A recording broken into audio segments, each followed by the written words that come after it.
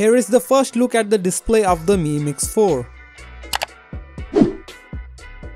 Hey guys, in the race of the under-display camera, companies like Samsung, Oppo are trying their best to hide the front-facing camera under the panel. And Samsung is right to the corner to launch their first under-display camera phone, the Galaxy Z Fold 3. This phone was in a controversy that the under-display camera is completely visible or not. Well, we will get to know at the Unpacked event. Xiaomi has officially confirmed that the Mi Mix 4 will be launched on August 10 in China. The company posted a teaser to its Weibo page. Sadly, the teaser does not include any photos of the hardware. Recent TENAA filing revealed the device will come with the model number of 2106118C and equip 8 and 12GB of RAM with up to 256GB of internal storage. In related news, a video post by Digital Chat Station on Weibo shows the alleged display panel for the Xiaomi Mi Mix 4. You can see the panel with MIUI OS on the top and the under display camera is totally invisible. The panel is fully illuminated just before it turns off,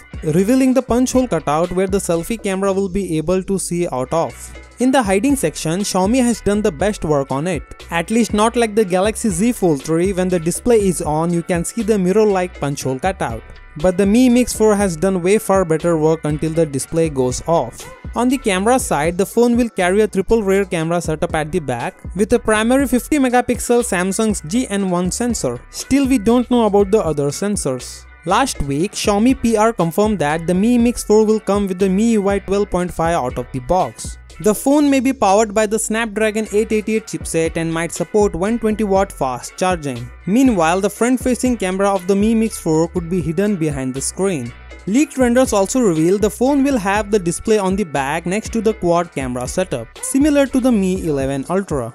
Mi Mix 4 launch is still a week away. Nevertheless, considering the historical records of Xiaomi, we are likely to start seeing teasers confirming some of its key features in the coming days. By setting its event for August 10, Xiaomi seems to have plans to upstage Samsung and its Galaxy Unpacked event.